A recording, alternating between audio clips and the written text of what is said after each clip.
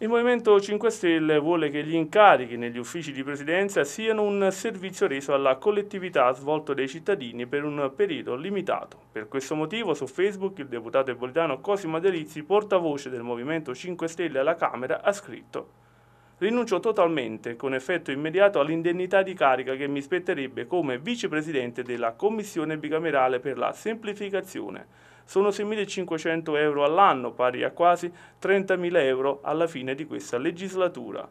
Questo risparmio di risorse pubbliche si andrà ad aggiungere al taglio del mio stipendio mensile da deputato, prosegue Delizzi. Queste sono piccole cose rispetto ai grandi problemi economici che affliggono il Paese, ma sono segnali importanti per dire agli italiani che le cose stanno davvero cambiando.